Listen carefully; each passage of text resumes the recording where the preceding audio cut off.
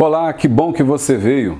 Eu sou o evangelista Júlio César e eu quero agradecer a você que tem acompanhado essa série de mensagens, As Bênçãos de Abraão, ao longo dessas três semanas em que eu compartilhei com a minha igreja uma mensagem poderosa da parte de Deus para o teu coração, que falam sobre as bênçãos e as promessas de Deus para Abraão e como que nós somos alcançados através delas como que nós somos participantes destas bênçãos. Eu quero agradecer de coração a você que é assinante do nosso canal, o canal Boa Semente, você que tem ouvido as mensagens que eu tenho pregado aqui na minha congregação, ou de outros amigos também que têm pregado ali comigo e tem sido bênção para aqueles que têm ouvido. Eu fico feliz em saber que essas mensagens têm abençoado a sua vida. Também hoje eu estou feliz porque eu vou compartilhar com vocês a mensagem As Bênçãos de Abraão, Crescimento, parte final a terceira parte desta mensagem. Você não pode perder esta mensagem, porque eu tenho certeza que Deus vai falar ao seu coração, vai abençoar muitíssimo a sua vida. Gostaria que você compartilhasse isso com alguém, que você estivesse compartilhando com um amigo, com uma amiga, alguém que está precisando de receber essa palavra para o seu coração, assim como foi bênção para a minha igreja. Sei que vai ser bênção para você e também para essa pessoa que está ouvindo. Compartilhe no Facebook, compartilhe no WhatsApp, nas suas redes sociais, marque um amigo, Compartilhe esta mensagem com alguém, faça com que ela chegue ao maior número de pessoas possíveis, porque assim eu tenho certeza que essa semente vai estar sendo espalhada. mensagem de hoje é sobre crescimento. Eu vou estar discutindo alguns aspectos fundamentais para o crescimento cristão, e um deles está nas sementes. Quais sementes você tem? Quantas sementes Deus te deu? Qual é a regra sobre a colheita, sobre o plantio? Nós não podemos fazer nada sobre a colheita que passou mas podemos fazer muito sobre a colheita que está nas nossas mãos. Não perca essa mensagem. Deus te abençoe.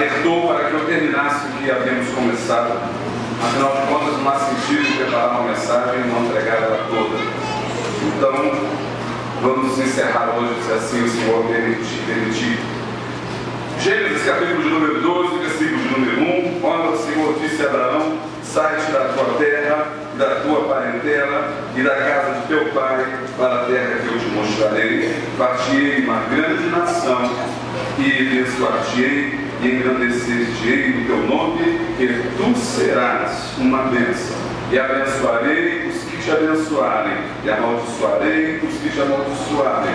E em ti serão benditas todas as famílias da terra. Amém. Há três semanas atrás nós iniciamos essa jornada com um Abraão. E é interessante que nós nem saímos do lugar. Estamos ainda no mesmo lugar, no mesmo monte, na mesma chamada, e estamos ainda ouvindo o que Deus falou para Abraão quando ele tinha 75 anos de idade, e só recapitulando para alguns irmãos, mas eu creio que todos vocês têm acompanhado esta mensagem, então se lembram que ele saiu da sua terra com Terá, seu pai, e quando chegou no meio do caminho em Arã, ele faleceu, Abraão tinha 75 anos, a sua esposa também já era idosa, ele estava acompanhado do seu servo Ló, eram, umas pessoas, eram pessoas prósperas na terra de Ur dos Caldeus, que era uma das mais avançadas da época. Quando chegou em Arã, o seu pai não aguentou a viagem e faleceu. Foi então que Deus lhe apareceu e lhe fez promessas. E são essas promessas que nós estamos aqui destrinchando parte por parte e observando todas elas. Nós já falamos sobre a visão, nós já falamos sobre a questão da, de, da grande nação, nós falamos semana passada somente de um tópico, foi Eu Te Abençoarei, falamos de provisão, e hoje nós vamos terminar essas bênçãos se assim o Senhor nos conceder essa oportunidade, falando sobre o crescimento. Diga assim comigo: crescimento. crescimento.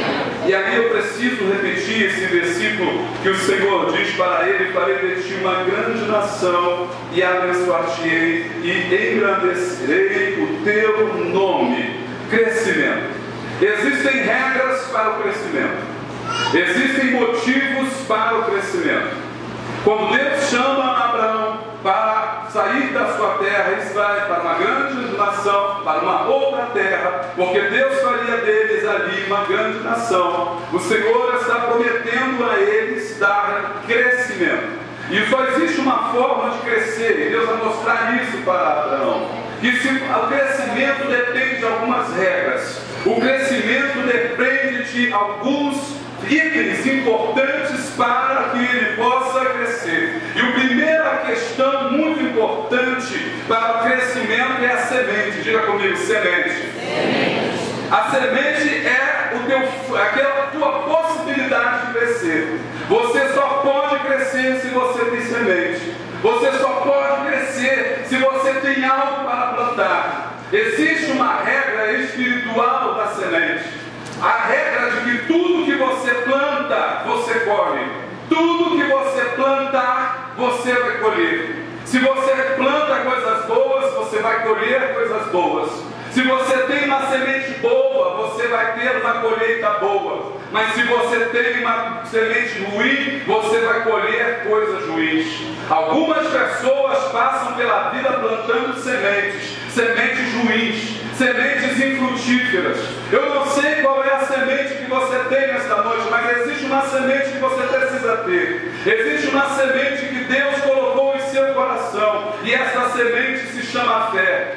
É por isso que o Senhor Jesus disse que se tiveres fé do tamanho de um grão de mostarda, observe a comparação que o Senhor Jesus fez entre fé e semente. Ele disse que se tu tiveres fé do tamanho de um grão de mostarda, direis para esse monte: monte, passa daqui para colar e ele irá passar. Há muitas pessoas que não acreditam nessa palavra, há muitos crentes que não usam essa palavra, há muitos crentes que acham que isso é uma forma apenas simbólica, é uma forma apenas um modo de falar. É por isso que nós não temos visto mais o Senhor operar como operava antigamente. Porque o crente antigamente, ele acreditava que se ele orasse, fosse preciso, o Senhor transportaria aquele monte. Esse crente de antigamente era um crente que ele tinha fé genuína. Ele nunca viu o monte sair do lugar, ele nunca viu o monte sair de um canto para o outro, ele nunca viu, ouviu ninguém contar testemunho de que o monte havia saído do seu lugar e ido para outro, mas ele cria.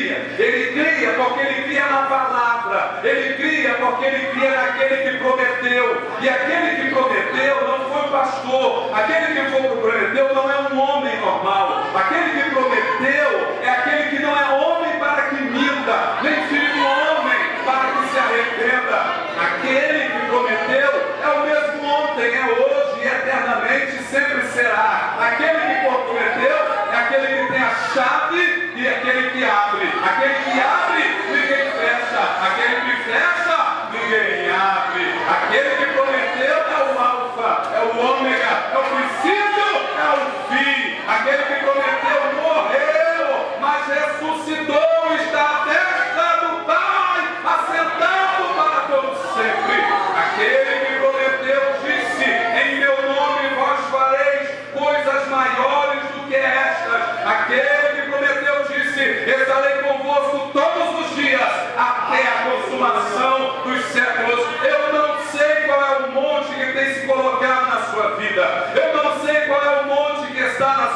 Se é o monte da dificuldade, se é o monte da falta de fé, se é o monte da crise, se é o monte da falta de prosperidade, se é o monte da falta de perspectiva. O que eu sei é que se você tiver fé, você vai tirar, sai na frente, monte, porque eu vou passar em nome de Deus. A sua semente é a única coisa que você tem para interagir com o futuro. Diga assim, a minha semente. A minha semente. Diga assim, eu tenho uma semente. Eu tenho uma semente. Ainda que você não imagine, o Senhor colocou dentro de você uma semente. Deus colocou dentro de Abraão uma semente. Deus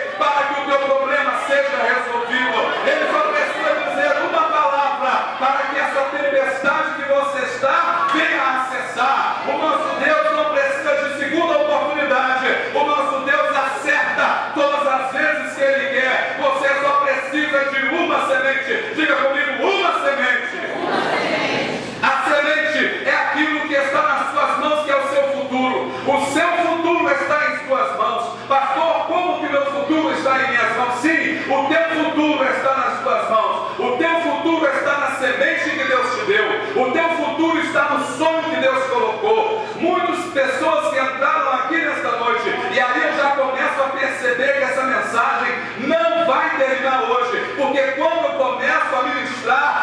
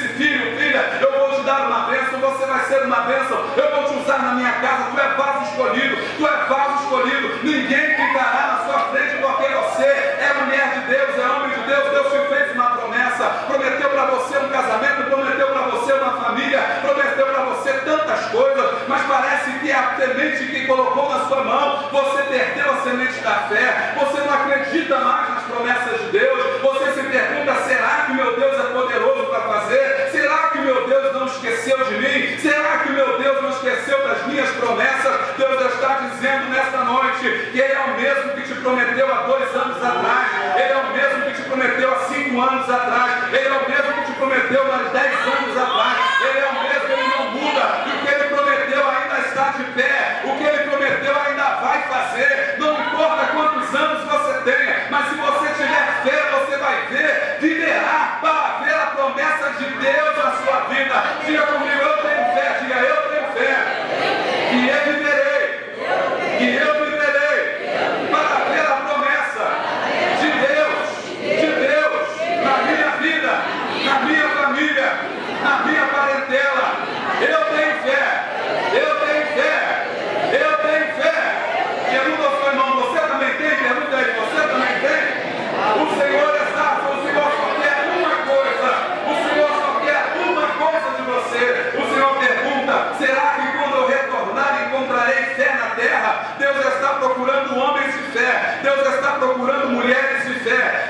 procurando adolescentes de fé. Deus está procurando homens de verdade, homens que não jurem com engano, mulheres que façam a vontade de Deus, daquele que chamou, homens que falem a verdade, profetas que não estejam acovardados, profetas que não estejam vendidos, pastores que não estejam corrompidos, e igrejas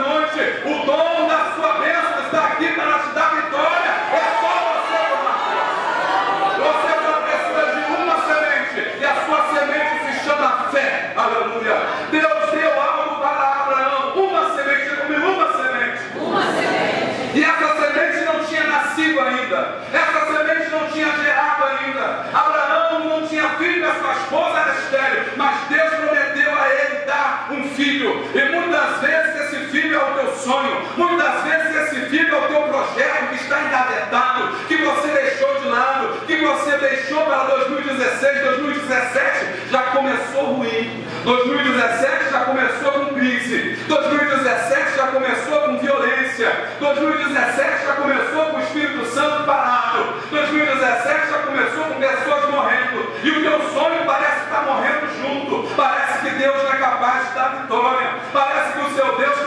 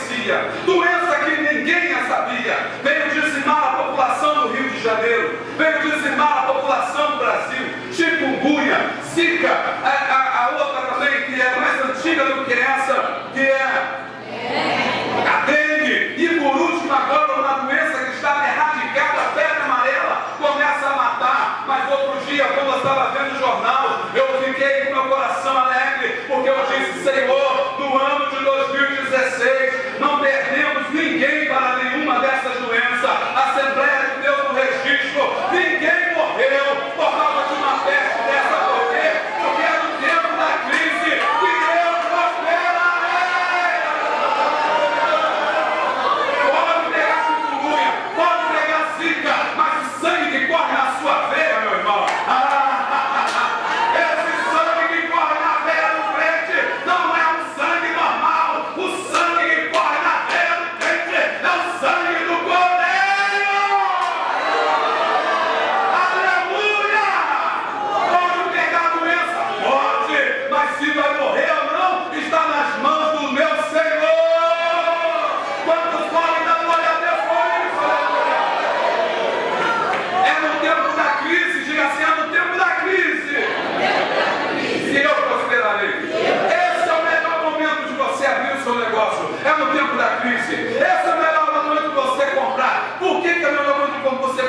porque está todo mundo vendendo. Esse é o momento de você comprar. Todos estão vendendo. Quando todos começarem a vender, é a sua hora de comprar. Durante muito tempo você só vendeu. Durante muito tempo você não comprou. Durante muito tempo você não teve. Mas Deus está dizendo que está chegando o seu momento. Ah, Deus está falando que a sua hora está chegando. Deus está dizendo que o tempo seu é agora. Quando todos estiverem chorando, você vai estar rindo. Não porque você é diferente, mas porque o seu Deus é diferente. Aleluia.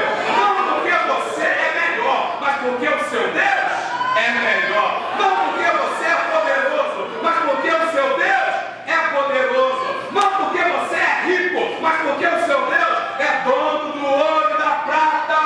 Quando tudo estiver fechando,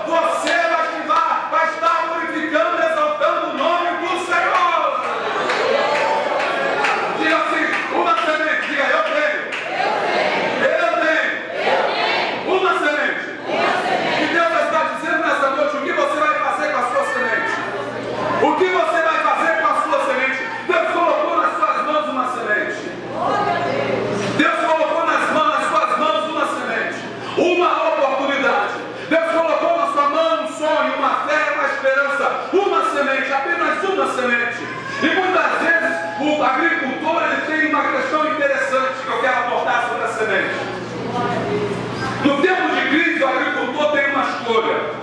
Ele pode pegar os seus grãos e comer os seus grãos. Porque afinal de contas estamos no tempo de crise. Você pode pegar o seu dinheiro e dizer assim, eu não vou ofertar porque estamos no tempo de crise. Eu não vou dizimar porque estou em tempo de crise.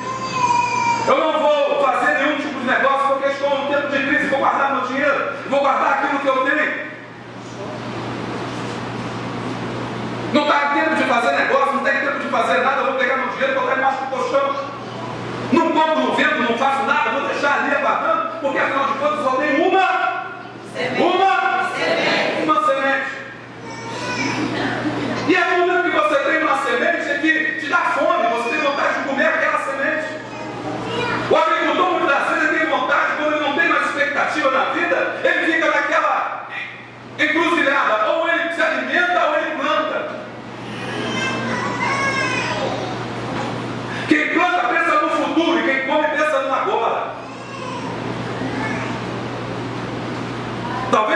Esteja em crise porque você está pensando no agora, não está vendo o futuro. Mas nós vemos na parte 1 dessa mensagem que a Abraão, Deus deu a ele visão. Então, se você tem visão, você pensa no futuro e não no agora. Mas quem está com fome fala assim: minha barriga está roncando, eu vou pegar e vou comer. Eu não quero saber de amanhã. Eu não quero saber de depois. Eu não quero saber que vai prosperar. Eu não quero saber de colher. Eu quero saber de comer. Porque tem necessidade que a gente pensa que se a gente não suprir aquela necessidade, a gente vai morrer. Como se Deus não fosse poderoso para te dar mais. Como se você enchesse a sua geladeira e comesse cada dia um pouquinho, porque você tem medo que amanhã venha a faltar. Às quartas-feiras, os irmãos que estão acompanhando as mensagens de quarta-feira, tudo, vão conseguir fazer o link com o que eu estou falando aqui agora. Vão conseguir entender o que eu estou falando sobre semente e o que eu estou falando sobre colheita e se alimentar na hora, como aconteceu com o povo de Israel. Mas tudo que a gente faz agora, a gente tem que pensar no amanhã. A bênção de Deus, muitas das vezes, não é para agora, é para amanhã. O projeto de Deus para você, às vezes, não é para agora, mas é para amanhã. O sonho que você tem não é para agora, mas é para amanhã. Aquilo que Deus colocou no seu coração não é para agora, mas às vezes é para amanhã. E você não tem olho no amanhã, tem olho no agora e gasta a sua semente. Não investe a sua semente. Não acredita na sua semente. O seu filho. Meu filho? É a minha semente. E aí você tem a perspectiva de fazer o seguinte, eu boto ele para trabalhar, eu boto ele para estudar. E aí você diz para ele o que os seus pais disseram, aqui em casa todo mundo trabalha. Se quiser estudar, estuda depois. Mas como nós estamos em crise e o crente que vê assim, ele vê errado, ele fala, é melhor você trabalhar do que estudar. Porque eu só tenho uma semente. semente. Eu posso comer essa semente agora. Ou eu posso plantar para amanhã. Mas quando eu planto para amanhã, dá trabalho. Porque estudar dá trabalho. Diga assim, estudar dá trabalho. Se esforçar dá trabalho.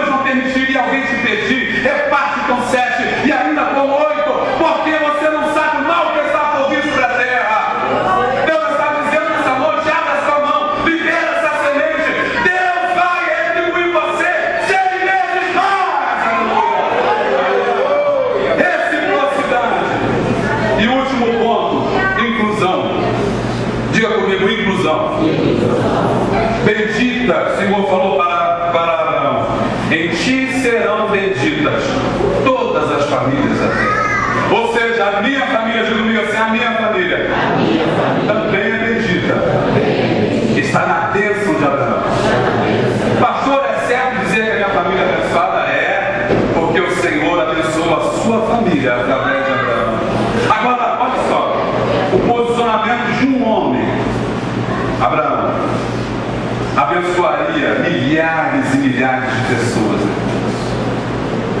A fé de um homem abençoaria milhares e milhares de pessoas. A semente de um homem, um homem, abençoaria depois milhares e milhares de pessoas. E a sua fé nesta noite pode mudar a história e a trajetória da sua família. Você crê nisso? Diga amém.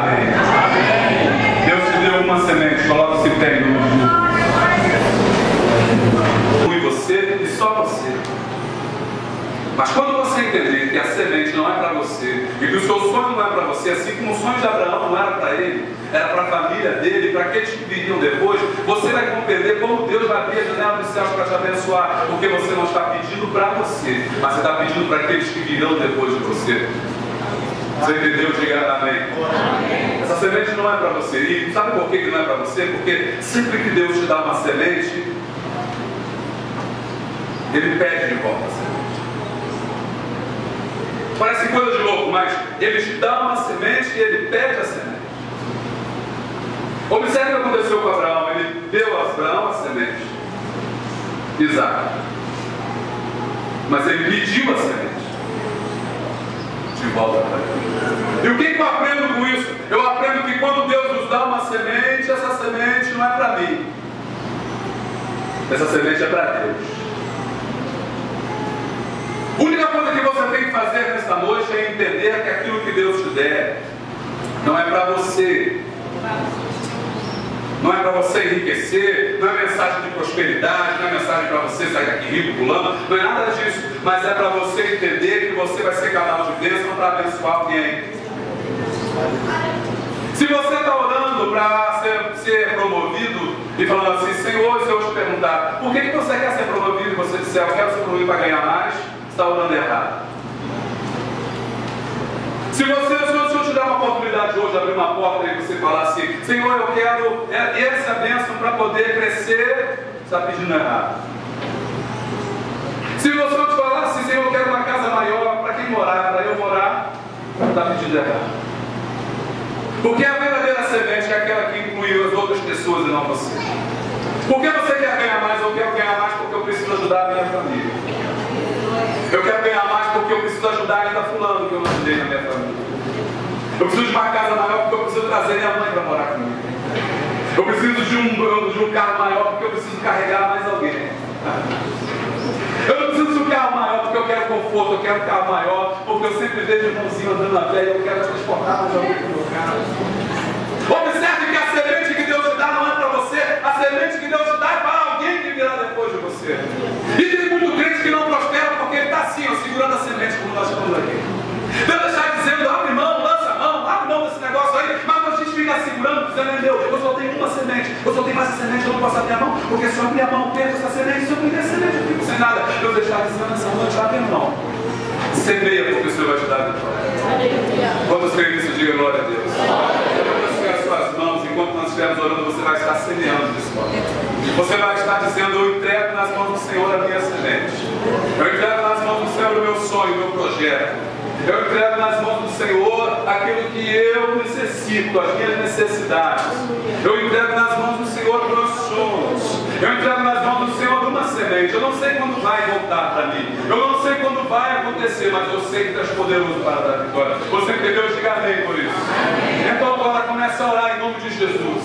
Senhor nosso Deus. Sim, com a mão levantada com a sua semente aí. Então, Te apresentamos neste momento a nossa semente. A semente que o Senhor confiou nas mãos de cada um. São sementes, meu Senhor, que serão bênçãos para aqueles, meu Senhor, que estão precisando serem alcançados através de nós.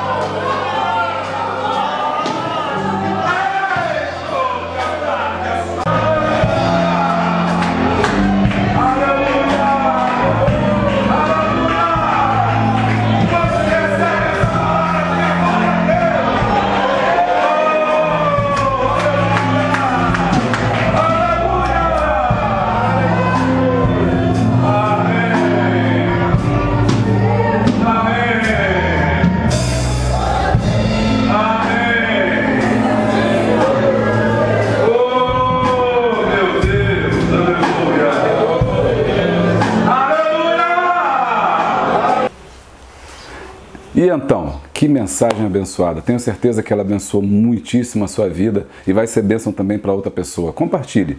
Dê um like aqui embaixo. Não esqueça de se inscrever no nosso canal. Toda terça-feira tem uma mensagem de Deus para a tua vida. Tenho certeza que as bênçãos de Abraão também recairão sobre a sua casa. Oremos. Pai, nosso que estás nos céus, estamos na tua presença te agradecendo pelo encerramento dessa série de mensagem e por esse ouvinte, por esse internauta, por essa pessoa que ouviu e que creu, Senhor Deus, ó Pai, que ela possa receber que a sua casa também seja abençoada com as promessas que tu tem derramado sobre Abraão, teu, teu servo, também sobre todos aqueles, ó Pai, que acreditam na tua palavra. Estas bênçãos nós te pedimos, te agradecemos, em nome de Jesus. Deus te abençoe, beijo grande, abraço, abraço forte e a paz de Cristo.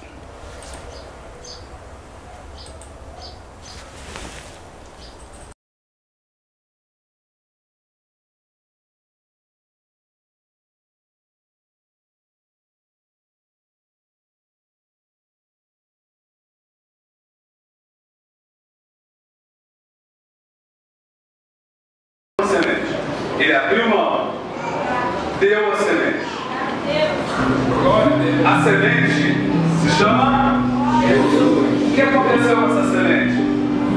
Foi plantada.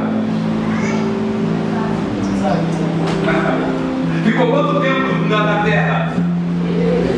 Três dias e três noites. Mas no terceiro dia, ela gênero.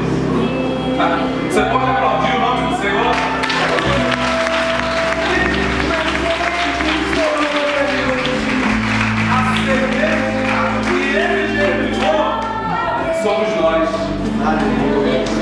Deus, olha só que tremendo, quero que você preste atenção nisso, meu irmão. Se você não gravou nada nessa mensagem, mas se você entendeu isso, Deus abriu mão de uma semente, e com essa uma semente ele teve milhões. Ele comprou milhares de pessoas ainda que vão nascer através de uma semente. Deus deu a Abraão uma semente de Isaac. Deus abraça Isaac, o Senhor deu a ele